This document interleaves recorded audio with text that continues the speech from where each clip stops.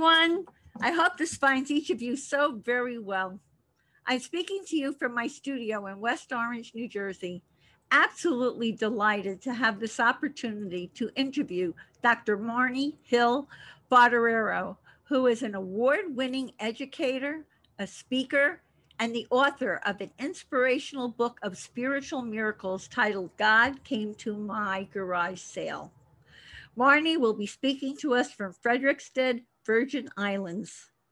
Marni earned her doctorate in education and completed her postdoctoral studies at Harvard after a successful and rewarding 35 years career as a high school special education teacher with 12 years as a university adjunct professor.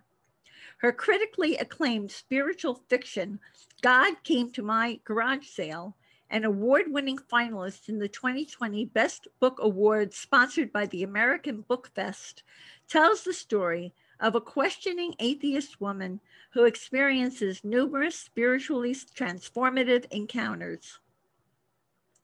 In addition to her speaking engagements and various writing endeavors on embracing spirituality after surviving domestic violence, narcissistic abuse, and parental alienation, Marni is a contributing author to numerous best selling anthology books. I'm eager to ask Marni how she became aware of the universe's signs and synchronicities. What were the spiritually transformative experiences that brought about her awakening, and the ways she survived domestic abuse and parental alienation by embracing spirituality? Her story is an inspiring story of grief and rebirth and since many experiences in my own life sync up with Marni's, I have absolutely no doubt that this is going to be an enlightening, healing interview for all of us. Hi, Marni. A warm, Hi. heartfelt welcome to Grief and Rebirth podcast. Well, thank you, Irene. Thank you for having me here. It's truly my pleasure. Let's begin our interview with this question. Please tell us all about your early childhood leading to your teen years. Well, let's see. I was I was born in Miami, Florida, and then. Hey, by the way, me too. I was born in Miami. Oh my gosh. I was, I was born in New Jersey, but I grew up in Miami, Florida. Okay, and I was born in Miami, but I grew up in Lake Forest, Illinois. So I was in the suburbs of um, of Illinois. Um, I um, I grew up uh, with really free spirited parents. Um, I was very independent and um, we weren't micromanaged like a lot of kids are these days it seems. Um, but i definitely um, was impacted by my parents very very bitter divorce and um, and how old you know really excuse me? How old were you? Um you know i don't even know exactly. I think um there were a lot of things that happened when i was younger um, leading up to this. I think it was probably around junior high, high school time. What a great age for that to be happening. Yeah, it was really, it was really tough. But I, um, you know, there, I'm starting now. Uh, many many years later, I'm I'm almost 60 years old. I'm starting to put the pieces of the puzzle of all of that together, realizing that there probably was intergenerational abuse, domestic violence, um, more from my dad to my mom. Um, that it, I'm starting to understand a little bit more of why I chose an abusive partner, um, at least first time around. I and same story. Um, yes. Right, right. It's very similar, but it, it does, it's un, unbelievable how it takes years to unpack everything and and put the pieces of the puzzle together. But I grew up without much exposure to, well, no exposure really to religion and or, or spirituality. Definitely an appreciation for nature and humanity and equality and goodness and a love of learning. Um, so I had so many very positive things that I took from my childhood as well. Um, but the, the negative things, it seems, um, you know, my response to them was just to really forge ahead and and survive and hey i'm going to make it on my own and um, and that's kind of what I did. So that was my growing up um in you said up to the teen years Oh, so- and then to your teen, through your teen years, and that's when you had this story. But you also became aware of the universe's signs and synchronicities. So please share some of your own spiritually transformative experiences. And then you also brought about an awakening for you, didn't they? Yeah, definitely. You know, when I was in college, I always knew in my heart and soul there had to be more to this earth. And so I was seeking out organized religion at that time. I was really believing that there's just too many miracles, just even in our bodies alone, um, that that it, it just can't be chance or something like that. So um, but I, I went along and then after I got married, um, I was involved in the church. Um, and I even became a lector where I was Did you meet him through the church? excuse me, Did you meet him through the church? my ex-husband.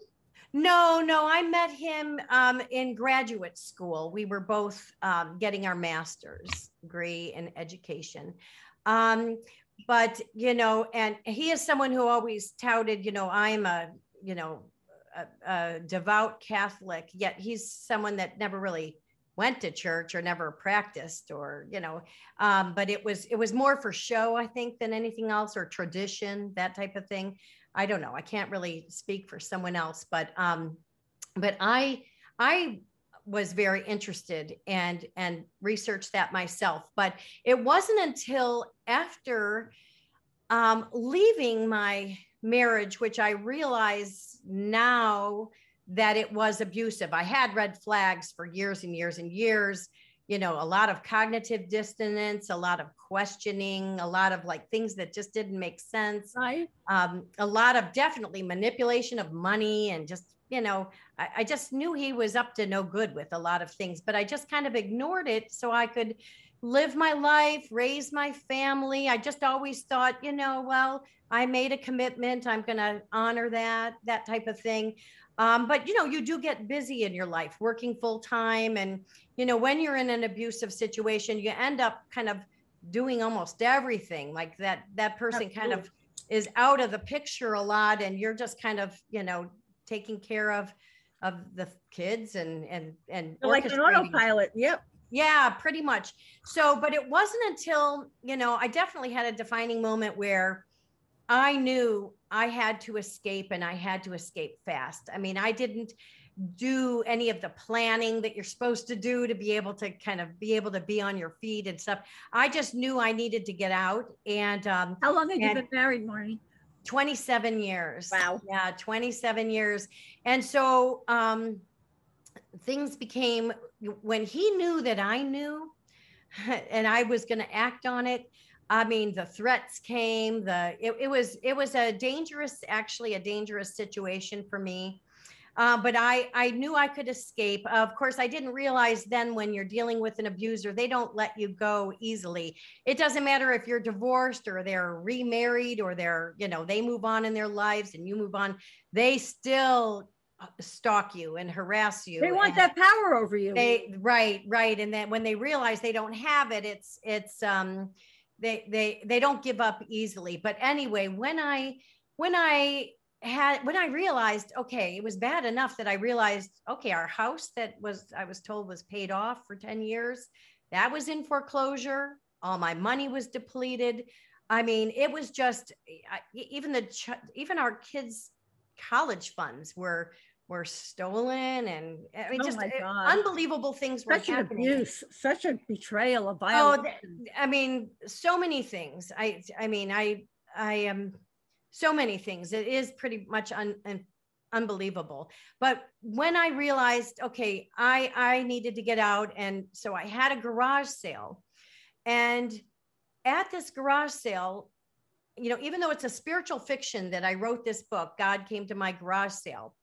Um, I did actually experience a lot of miracles that just can't be explained by everyday you know evidence facts and and then after experiencing some of these were you miracles- skeptical when these things were starting, or had you started to open to them? yeah yeah definitely i was like boy this is unbelievable did i really see what i saw did this really happen but then afterwards i realized um I had like a sense of calm and peace come over me, even in the midst of all this chaos and loss and shock and betrayal.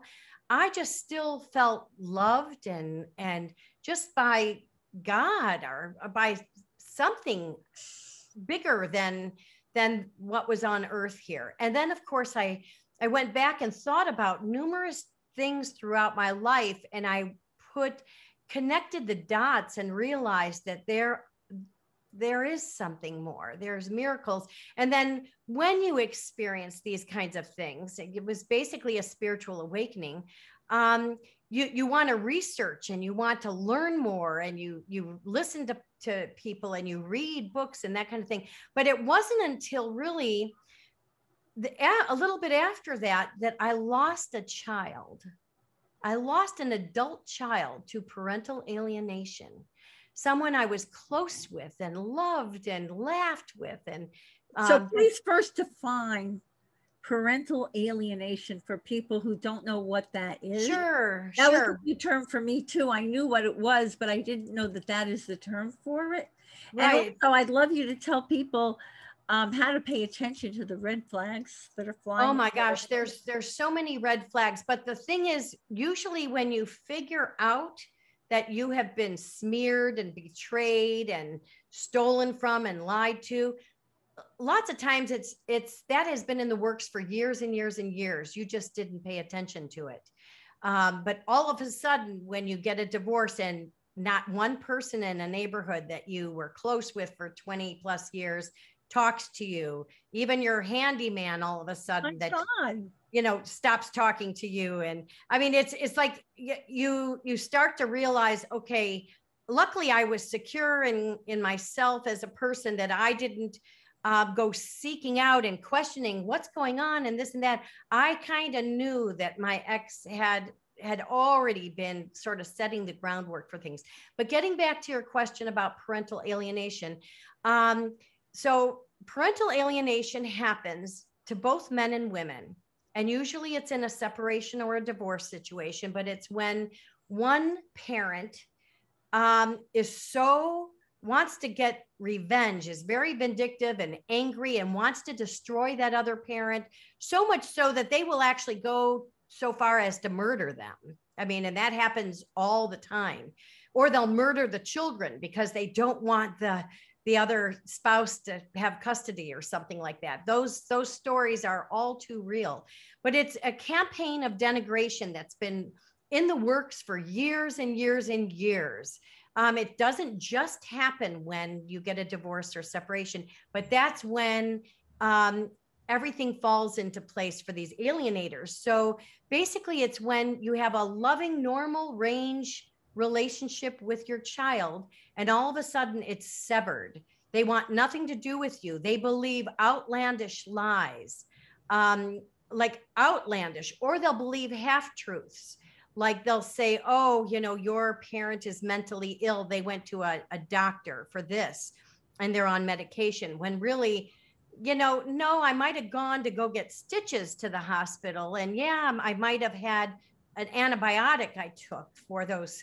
So I wouldn't get an infection from that cut. But, you know, they twist the stories around and they somehow get people to believe them. They get they get well, everyone dealing with children. They have no life experience to compare right, with, right, and they're right. believing their parent. But I mean, and they're so conflicted because they don't want to be disloyal right. to that parent, and they they love you, but they're being told these terrible things. I well, in this case, this adult child of mine was 20 years old when it happened. So that child had so much experience with me knowing the actually they probably know the difference between the two parents and that there was a lot of evil and wrongdoing and and you know stuff happening with the other parent you know the thing is with parental alienation they know the loving parent which i believe in this case is me they believe that that's unconditional love so they don't have to worry about whether yeah. we will be there or You're not. The safe there. one. You're the safe one. I'm the safe one, but they they they it's kind of like a Stockholm syndrome. You know that remember that that that bank robbery situation where the the tellers who were you know abused and forced at gunpoint and all that they sided with the abusers they were empathetic to the plight of the of the robbers and took their side. It's the same kind of thing. These young children or in my case adult child they don't they they don't want the same treatment happening to them.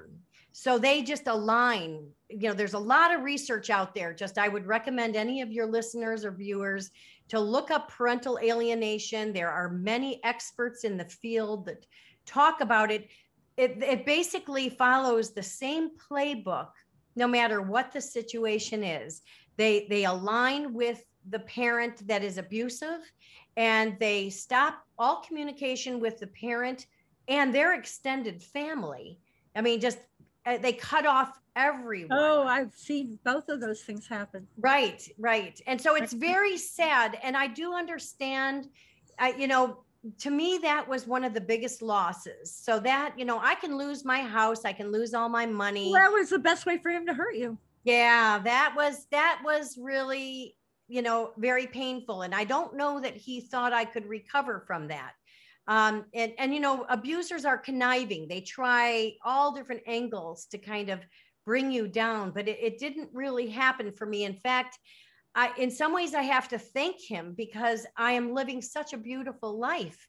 I, I am in the Caribbean. In some ways, he empowered you you know in many ways you do you do realize what's important in life and and you get stronger in your convictions and yeah. and i was always someone who believed in honesty and goodness and love and compassion and i'm more so now with that um, i don't wish ill will on anyone. I wish healing for some people. I sure wish uh, people that lie and deceit and are evildoers you know i wish that that i don't wish revenge for them but i sh- i sure wish that they would leave the the good people alone and just i agree. maybe, maybe you know heal themselves somehow so they could move on and and stop obsessing and stop over. passing the legacy of pain forward right right yeah these children are you know have a lot they're going to need to struggle with and it's it certainly was not what I ever imagined I'd be dealing with, but that's what it is. What it know? is. So how do people what how do people pay attention to the red flags of domestic abuse? And then you've got some tips for surviving domestic violence. You want to pass them along? Sure. I would say, you know, as far as the red flags, many of us realize something just doesn't seem right. You know it's like god that's really really strange that this person is involved in our you know marriage and and why is this person here? Or you know why is he hiding money? Or does he um i mean it, it, the stories with people that survive domestic violence run the gamut. I mean there are abusers that have families with other people while they are married to their main you know what you think is the only family. You know it's just it's unbelievable the story so i would say one thing that i didn't do and i wish i would have was just pay attention to my gut and my instincts because i was being told over and over this does not add up you know this is not right you know you should not be in this situation and i I ignored that. So so they always say you people ignore the red flags. I would say when you are feeling there's something is not adding up, follow your gut and stop what you're doing and take time to sort of investigate um, why these things don't add up. And and as far as surviving it, I think you know there are all stages to it, just like there's stages to grief, there's stages to surviving. And part of it is, you know, you have to look out for your safety and well being and the safety of your children. That's number one. You know, everyone has their own unique situation. Um, you have to remain vigilant. You have to realize, probably, I would say the best advice is complete no contact because any engaging in any kind of negotiation or communication with your abuser, um, will not turn out in your favor at all. They may come across as sincere, but but they're not. They're not, you know, if they've abused you and they've done such terrible things, they're not going to automatically stop that and come around and like you can negotiate and work with them and you know um so I, I would like say the old expression when someone shows you who they are, believe them. Right, right. And and abusers actually do tell you it's like a mask falls. Um, I had a best friend that I've been completely betrayed from um, or with, and and that was someone I was. You mentioned the word trauma bonding. I was trauma bonded to this best friend. Now, tell know, us about had, trauma bonding because people. Well, she trauma bonding is where you you have this connection with another person, but it is um, they've it's dependent on uh, history and it's dependent on, oh, I've known this person my whole life, or this person was here during this time and bailed me out, or I told this secret to this person you know when we were kids and and you know that you just um trauma bonding can happen in all types of relationships and it definitely was here with this loss of this best friend and that that happened you know, I, I would say after the divorce and after the alienation, when I really realized that that she was very much involved in a lot of betrayal, like unthinkable betrayal and lies. And when when someone lies to you, um, pay attention because they that means they've lied many other times and and this person is a very dishonest person and and i knew that with her interactions with other people but i didn't put it that that would be part of our relationship. You didn't figure out when show someone shows you who they are. Right, right. so that was a red. I mean, I should have known years ago when right. she was involved in some very unethical you know behaviors and our our our values did not line up years ago. And i should have realized then that you know well wait a minute these are pretty significant that our values don't line up. So so anyway the betrayal you know i mean that loss in some ways was was harder um, than than leaving an abusive marriage because you know you really thought someone was close to you but eh, but they they they their mask falls off. So so she one day without really knowing it said something where I finally listened and I'm stopped sure. and went, wow. And I didn't even, I was careful not to let her know. You I knew what was going on because I needed to exit in a way that was safe. And and my ex-husband did the exact same thing. He didn't mean to confess some pretty wrongdoings that night over pizza, but it just came out. And and I finally listened. It was like boom, a light bulb finally goes on. So I just think unfortunately human nature we have we we become enlightened and and accepting of things when we're ready to be enlightened or accepting. You, well, know? you know, yeah. I agree with you, Marni. So let me ask you a question. So someone is listening to us Sure. They have toxic people in their life. Yeah. So how can they let go of these toxic people so that positive situations and honest people can come into their lives? Because you obviously had how did you let go of her? How did you to stay safe, to make space right for better quality people to come into your life? Well, in my case, I I had some um, loose end business situation that needed to kind of wrap up and so I I didn't um, really let on that that I no longer wanted this person in my life ever. The betrayal was so bad. I I never wanted, but I I chose not to have that closure and to to be reasonable and say, hey, this is the reason. You know, maybe we can work on this or whatever. I just knew and that that was it uh, that i wanted nothing to do with this person. Our values were so very different. And um, and, and so I, I just think that you you have to follow your gut feeling um, but you also have to just think about who you are and what your values are.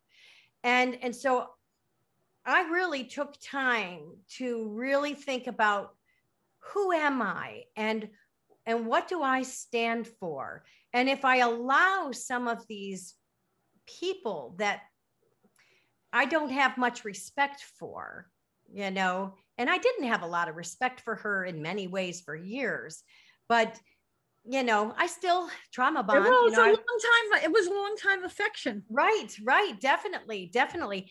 Um, but you have to kind of search within yourself, I think, to find your own values. And and my values of love, honesty, compassion, goodness, honesty being a very big one. I needed to stay true to that. So then I decided, you know, hey, I might have, I've already lost so many things. I lost so many friends and neighbors and material possessions and all that. And it was, it, you know, I'd already experienced so many losses and then losing my child. Um, you know, I already had kind of lost almost everything. But Um, you hadn't lost yourself. You were fine. but. I didn't yourself. lose myself. And and and I had no idea that within a relatively short period of time, I would not only regain my myself back, I'd have beautiful people come into my life that I would connect with, that we would resonate with, that we we've gone through similar experiences. There's kind of a different type of bond with people who have survived um, grief and loss and then had a rebirth Right. you know There we go. you- There we go. Yeah. So, how did your spiritual beliefs, how did embracing spirituality help you to survive what you went through? And how and did mediums help you on your journey to healing? Most definitely most So and of course psychic mediums i never even believed in psychic mediums A- and, now i'm a, I, i'm actually a cr- contributing author to a book that's on your website called the last breath. I'm a, one of the authors in that book um, and it's mostly mediums but um, you know the spiritual awakening um, how did it help me? It helped me realize that there's more to this earth that we we go through some of these trials and tribulations for a reason that i really believe now after researching experiencing things myself and researching hundreds of other people that have had near death experiences or spiritual awakening experiences that we we we choose this life we choose our parents our families our situations Isn't that shocking? it is very shocking but i believe it now Yeah. um, that we go through, you know, and, and uh, while you're going through it, you're thinking, why would I sign up for so much pain? The pain is of losing someone is just, you know, unbearable. Um, you know, and but there's a reason for all of that. And psychic mediums, I I actually went to a grief workshop.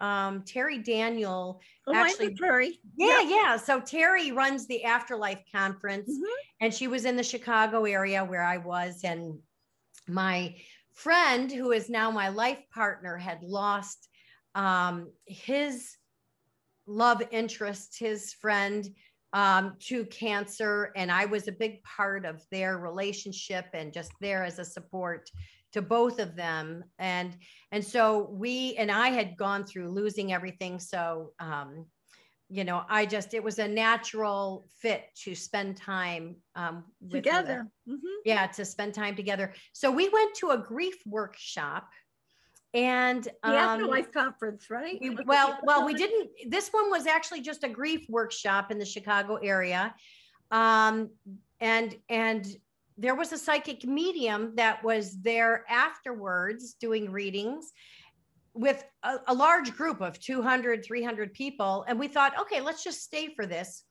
i was one of the five called on and this psychic medium was able to tell me names and specifics of an aunt that just had passed away.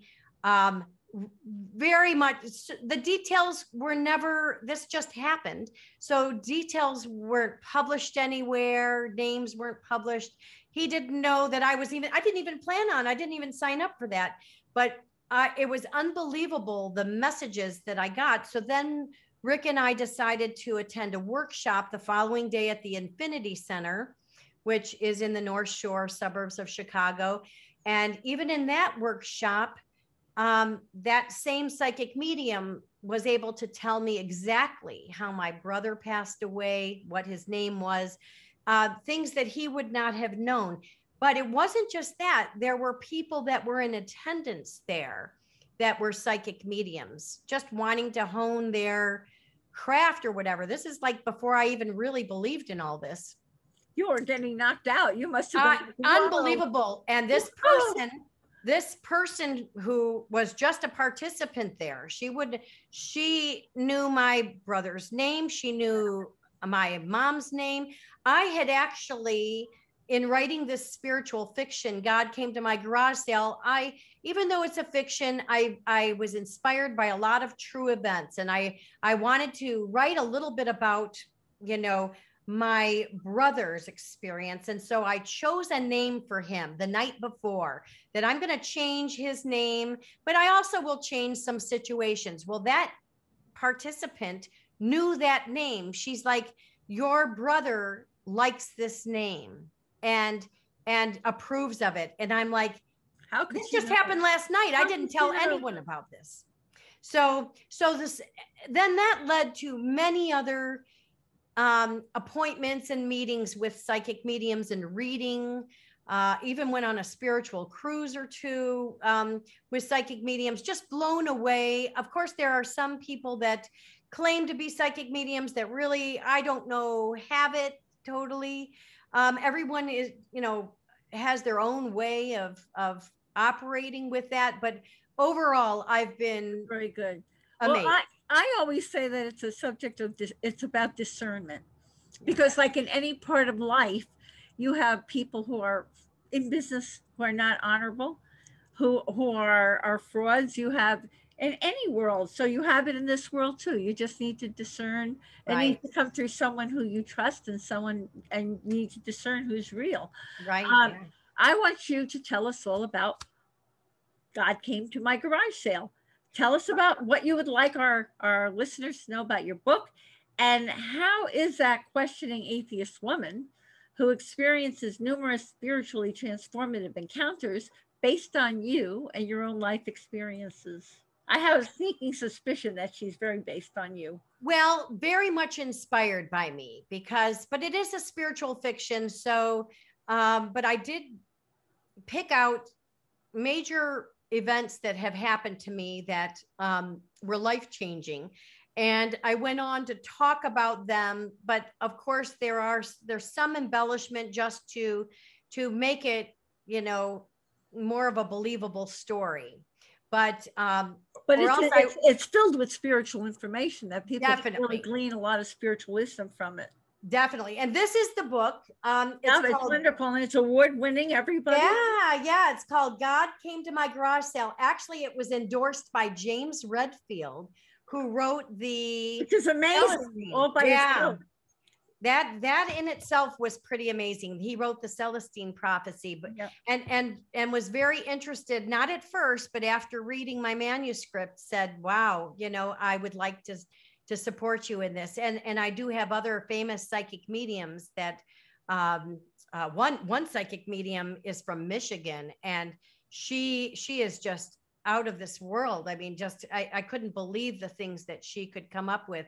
And another, you know, a couple of them are celebrity psychic mediums that were um, that that really know their stuff. And um, anyway, so so the book, you know, I was inspired because at this garage sale and then many other experiences through the year or two after that garage sale um, where i really I, I i it was more than just finding pennies and feathers and seeing red cardinals and it was it was seeing people um, that seemed to come for a reason and then would disappear. and then would just disappear without me seeing them leave or I had even my first chapter is about dragonflies. At one point, I was surrounded by, you know, what seemed a hundred dragonflies circling me, and everything was in slow motion. And and the feeling that I had was that I was being surrounded by generations of ancestors and and just I was given such a feeling of of just You're, you're, yep, you're supported. Well, Peace doesn't the dragonfly also stand for transformation also? Well, the dragonfly, and I write about this in my book, stands for all sorts of things with regards to different cultures and and they but but overall it definitely is transformational just like butterflies would be transformational but um but yeah i just had a lot of amazing experiences and and i have since gone on to have numerous spiritual experiences almost on a daily basis Wow. that, that i have now that that you know it's almost like i can manifest some things where i if i That's really fantastic. if I put my intention, you know, if I really, really focus and I, I meditate and I, uh, you know, follow some rituals and things that really kind of bring me to a, a- sense of peace and calm, um, I can ask for some divine guidance and and I can get it. It's it's amazing. I What a blessing. and, and sometimes you don't know how it's going to come into your life whether it's a person you meet a situation you're in but i have just been amazed and and just like you you know you've you've survived such loss in your life on many different levels i too have survived loss on many levels and for many people they might not be able to go on you know with such severe loss but I, I've always um, felt good about going on. You know, I've I was never suicidal. I was never depressed. I was never. I, I just always knew there was good that goodness would prevail somehow. Justice doesn't always prevail, but goodness does. And and so I'm able to go on. You know what? I wish for you, Marni, that justice will also prevail. Well, it might, it might, hopefully, hopefully, we'll see. But you know what? I, I haven't had that experience. Unfortunately, abusers can, can, you know, number. a lot of, a lot of people believe lies and even if they're right in front of your face, you know, false documentation, all that is, it, it's, it's mind blowing, but whatever, I can still live with myself and who I am and what I'm all about. You. know, you So can't control other people. You can't control what No, the part of that's letting go because what Yeah, can you do? What yeah. can you do? Otherwise, they eat you up. right. What? You're such a good role model for rebirth after trauma. Ah, What is your what is your message about the importance of healing that you'd like to share with our listeners and how is the best way for them to connect with you and purchase God came to my garage sale? Oh, okay. Well, let's see. As far as healing, I think part of it is just searching within yourself to your own values and who you are and staying true to that.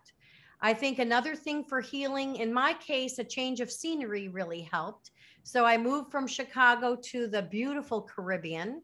So that has been amazing. I've lived here two years and I'm so glad that I had a change of scenery. That really helped me. Although I always had plans to stay in our marital home and, you know, create a life there, but that wasn't meant to be. And, you know, thank goodness I have found a much better existence, you know, where I am. growth and new friends waiting for you. where you were. definitely definitely and Yeah. and i think another thing is you know evaluate what you're interested in your hobbies you know what you how you like to spend your time i found that you know um, like for example i used to always love to cook and i i love to you know bake and make things and my children and i would make cream brulees and we would just you know and i would do so much for every holiday you know no matter what the holiday was, I would decorate and we would do all sorts of art projects and stuff. Well, that really changed. I don't um I don't do holidays like that. Um and I'm open to other kinds of holidays. Uh, my life partner is Jewish, and somehow, always in my heart and soul, I felt I was Jewish, and I always said that. Um, even You probably to- had a past life. I might, I'm sure I had a past life, but you know, so I'm learning, I'm open to new, new experiences. Um, and I don't, I don't really cook much anymore because the person I am with is an, is a major cook and, and, and creates all sorts of wonderful, um, meals for us. Oh my So God, he sounds perfect. Oh, he's he, well, he's just a good person in so many ways. And he I mean, uh, well, true to the value. I mean, honesty is a big thing, and and so it's after years of being with such dishonest people in my life, not just my ex-husband, but my best friend, and and definitely a lot of dishonest neighbors and people that I surrounded myself with to spend my life with someone who is honest and fun and interesting and I learned so much from I just it's it's just uh, amazing That's it's just amazing. miracle, miracle that came into your life. You found yourself. definitely definitely and um and so let's see as far as my book um god came to my garage sale it is um on amazon barnes and noble it was published by balboa press which is a division of hay house. Uh, the book's only $11 $11.99 or $3 for an ebook so it's very reasonable. It can be found in many bookstores even in the states. Different books uh, I, i'm getting um, contacted to come do book signings and to go different places. And and so it's it's out there. I also uh, this past couple years contributed i'm a co-author to four other best-selling books. Wow. um, one i mentioned that's on your website is the last breath. So i contributed a chapter there. Um, i'm also involved with blue talks which stands blue stands for business life and universe and this fall, I'll be going to Columbia University in New York City speaking on surviving um, domestic violence, narcissist abuse, and parental alienation, but handling um, handling these life challenges with love and goodness, That's and so- also talking about how spirituality plays a role in that as well. Um, so, and I was also in a dog book, which was a lot of fun. I actually wrote um, a chapter called Doggy Divorce from a dog's perspective. So it actually touches on alienation. It's someone else's story.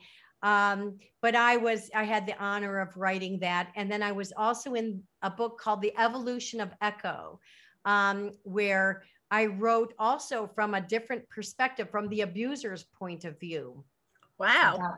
Yeah. That So challenging. well, it was, it, it wasn't that hard because I you you you when you start to try to put the pieces together and understand what happened to you, you almost have to try to understand the mindset of of an abuser, you know, of a of someone who's malevolent and and and so I I it was very healing to write this this essay, be, you know, from that perspective. Uh, because I really I don't feel like I'm a victim. I was a victim. Um, you know, unfortunately, anyone that is targeted by an abuser is a victim, but I certainly don't live in that victim mentality. Not at all. no, no, Not at all, Marni. no. What- So, and then I also, Yeah, um, go ahead. well, I'm, I'm, I just finished writing another book last week. I've been working on it for three years. And so I actually have a series of four books. Uh, the main title is True Deceit, False Love. And uh, this particular book is a book of terms. And I also have poetry books in the works. So, anyway, I've been, uh, so I think in answering the, that other question is how do you survive this? I think you think of your interests and you pursue them. I, I really could very easily retire to the Caribbean and and not do much each day, but I really find a lot of healing and joy in writing. So, So you I found write your- a lot. So everyone needs to find that magic key for themselves, Right. right? Find what works for you, you know, Would what you- you enjoy. That's right. Would you say that is a tip for finding joy in life is to find what you enjoy? Find what you like to do, whether it's a craft, whether it is um, volunteering for an organization that you feel strongly about, whether it's traveling and seeing the world and, and other experiences, taking up a completely new hobby. Um, I, I was always said, I was told by a lot of people, oh, you're going to take up scuba diving because you're in the Caribbean. Well, no, no, I don't want to do that. Not interested. I love to snorkel and I'll snorkel every day, but you know, no, I don't want to put on a big heavy tank and, you know, um, feel constricted like that. But people do pick up hobbies that they never thought that they would. Um, you know, uh, we spend a lot of time skiing. Even though I'm in the Caribbean, we will, you know, go to where there's beautiful mountains and and and ski. And that's something I wasn't really involved in for many years, but now I really enjoy it. so, I can certainly relate to that. Where do you go to ski? well, I you know, I love Alta. I've been to Oh, I've been to Alta, yes. yeah so you know we have a, a, a great time in utah and um, even minnesota we spent some time skiing in minnesota and colorado and uh, so it's just kind of fun to try different places to ski Oh, and it's beautiful. but it's finding finding something you're interesting that that is interesting to you and and doing it picking up a hobby that was something that you know like i just i just had an interview with an amazing woman uh, rusty mcdonald who is a survivor herself and she picked up painting she loves to paint now and finds a lot of you know therapeutic value in that so you know you just have to find what works Find what for you. works for you. Marni, you are terrific. You're a true role model for Aw, grief thanks. and rebirth. You really are. This has been a pleasure interviewing you. You survived traumatic domestic abuse and parental alienation by embracing spirituality, and today you are thriving.